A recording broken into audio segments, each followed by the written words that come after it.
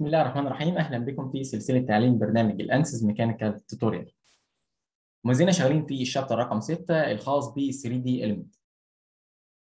في التمرين اللي عندنا إحنا عندنا bracket حرف L مصنوع من الستيل وال modulus of elasticity أو ال Young's modulus عبارة عن ال E بتساوي 200 جيجا باسكال وال Poisson ratio عبارة عن 3 من 10 زي ما هو واضح في شكل المنظور المنظور اللي عندك هو الأبعاد كلها عبارة عندك بالسنتيمتر شكل الحرف ال قال لك الارتفاع بتاعه عبارة عن 3 سم في الطول بتاعه اللي هو عبارة عن 8 والسمك بقى سواء هنا أو هنا كان عبارة عن 1 سنتيمتر. وعمل ارك قيمته 1 سنتيمتر. بعد كده بدأ يعمل متوازي مستطيلات في الجزء اللي, اللي ورا بالنسبة للبراكت أو المكان بقى اللي هيبدأ يتثبت فيه وقال لك الابعاد بتاعته عباره عن 3 في 8 في 1 سم ال bracket الحرف ال كان السمك بتاعها كان عباره عن 4 سم وقال لك إن ال bracket ده هتكون متثبتة من الجزء ده وعليها قيمة pressure قيمته 1 ميجا باسكال. هو المطلوب إيه؟ آه ده أنت هيبقى مطلوب منك إن أنت تبدأ تحسب ال deformation وتبدأ تحسب ال stresses يعني إحنا عاوزين نبدأ نحسب ال total deformation اللي بيأثر نتيجة ال applied load اللي عندك سواء بقى جاي لك هنا انت عندك هنا uniform pressure قيمته 1 ميجا باسكال وعايزك تبدأ تحسب الإجهادات بقى وتشوف باستخدام بقى نظرية فون ميسز أو تريسكا وتشوف أقصى إجهاد عندك بيحصل على ال bracket ده نتيجة الحمل اللي هو اللي انت مأثر بيه في الشكل اللي عندك.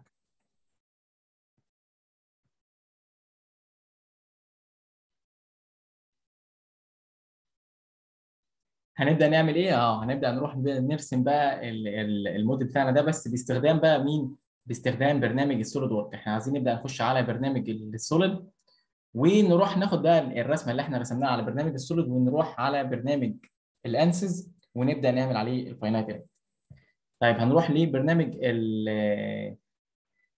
ال SolidWorks وهنبدأ نرسم شكل الموديل بتاعنا.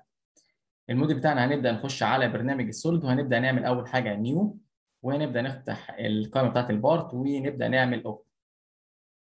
أول حاجة في برنامج ال Solid بنبدأ نحدد المستوى اللي إحنا هنبدأ نشتغل عليه وباستخدام بتاع الأمر ال line هنبدأ نرسم شكل الحرف L بتاعنا شكل تقريبي وبعد كده نبدأ نديله الأبعاد بتاعته كان عندي الارتفاع ده كان عبارة عن 3 سم يعني 30 ملي والجزء ده كان عبارة عن 1 سم اللي هو عبارة عن ال 10 وال الطول ده كله عبارة عن 8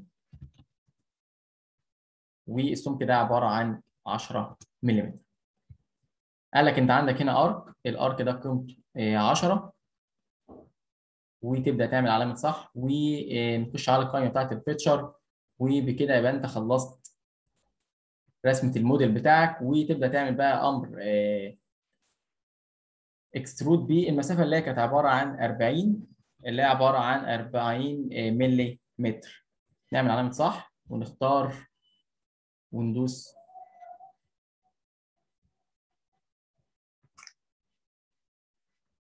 كده يبقى شكل الموديل بتاعنا أو شكل الحرف اللي إحنا عملناه بكل سهولة على برنامج ال Solid كل الناقص بقى نبدأ نعمل إيه؟ آه ده هو هيبقى عندك هنا في متوازي مستطيلات قال لك ده اللي هتبدأ تثبت منه.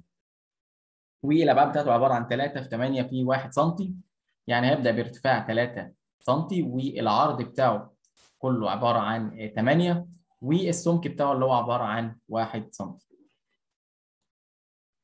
نروح على المستوى السطح ده ونبدأ نعمل سكتش. ونبدأ نعمل لوك آت. ونجيب بقى الأمر بتاع المستطيل ونبدأ نرسم. مستطيل. والمستطيل ده إحنا عايزين نبدأ نديله الأبعاد بتاعته اللي هي عبارة عن 80 في الارتفاع بتاعه اللي هو عبارة عن ال 30 أو 3 سم وعايزين نبدأ بقى نوزن بقى أو نبدأ نوسط بقى الكلام ده. نقول والله اللي أنا عندي المسافة من الجزء ده للمسافة لغاية الجزء ده أو الخط ده قيمتها 20 والمسافة من الجزء ده لحد الجزء ده اللي هو الارتفاع ده إحنا عايزين نخليها في المنتصف. دي عبارة عن الواحد ودي الثلاثه يبقى المسافة دي عبارة عن 10 مللي وتحت هتكون 10 مللي يبقى أنت كده تمام. وتروح على الامر بتاع ال feature وتبدأ تعمل extrude ونبدأ نظبط كده شكل المنظور بتاعنا. هتلاقي عندك هنا أمر ال extrude بالمسافة اللي هي عبارة عن 1 سم اللي هي عبارة عن ال 10 مللي. نبدأ نعمل علامة صح. وبكده بقى شكل الموديل بتاعنا جاهز اللي أنت تبدا تاخد بقى الكلام ده وتروح على برنامج ال ANSYS. ه save بقى الموديل بتاعنا وهنحطه على ال desktop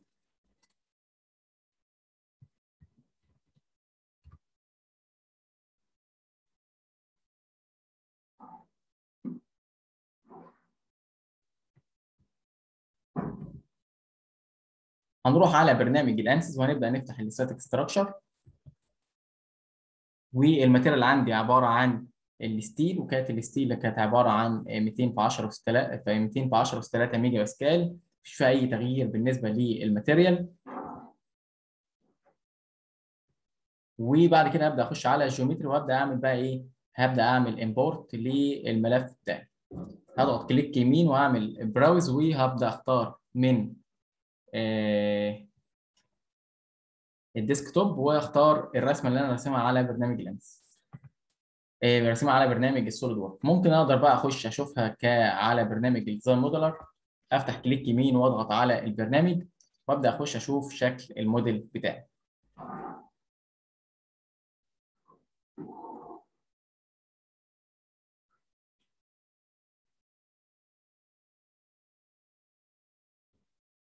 لو انت عملت اي import لرسمه عندك في اي برنامج هيفتح عندك بالطريقة دي بس انت ناقص تضغط بس generate عشان يبدأ يقرأ الرسمة اللي هو اللي انت راسمها على البرنامج ال SolidWorks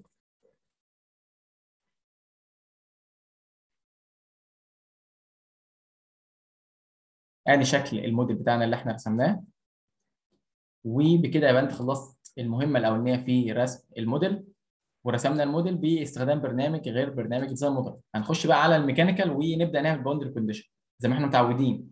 إحنا بنعمل ثلاث خطوات. بنعمل نعرف ال material بنعرف ال mesh ونختار ال mesh المناسب أو ال optimum بالنسبة للحل بتاعك.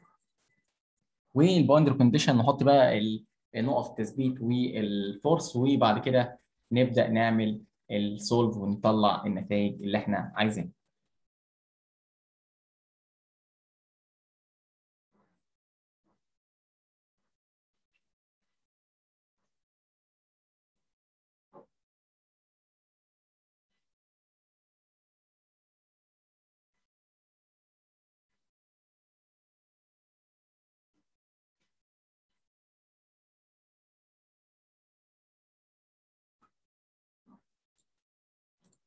هبدأ أتأكد من المسألة بتاعتي اللي هي بتاعت المصنوعه من ال steel وهبدأ أعمل generate mesh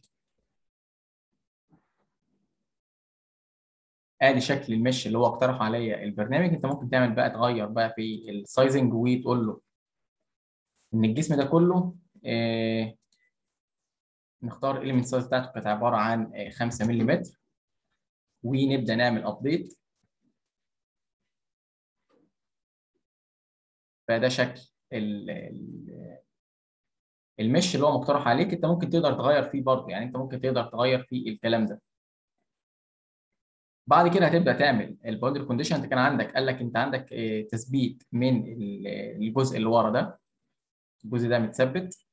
وعندك بقى قيمة إيه؟ pressure. انت عندك هنا pressure. هنجيب بقى قيمة ال pressure ونحطها على مساحة السطح ده. ونختار apply وهنخليها بقى عبارة عن pressure في الاتجاه بتاع ال Y وهنسميها بقى هنا أو قيمتها بقى بتكون عبارة عن 1 ميجا باسكال بالنسبة لل boundary condition اللي هو قايل لك عليه.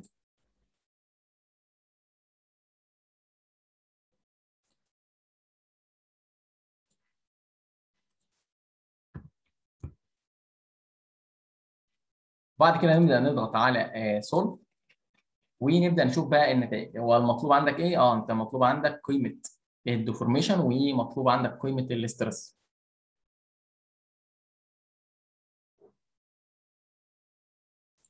هنروح على ال solution ونختار ال deformation total deformation وهنختار equivalent von Mises وممكن نطلع ال maximum shear stress ونقدر نطلع كمان ال stress tool عشان نقدر نطلع منها ال safety factor